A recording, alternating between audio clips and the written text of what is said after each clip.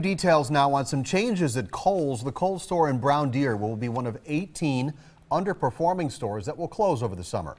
Kohl's says eligible employees will be given a chance to work at another store or to take a severance package. That Brown Deer store is the only one in our state that will close. This happens on June 19th.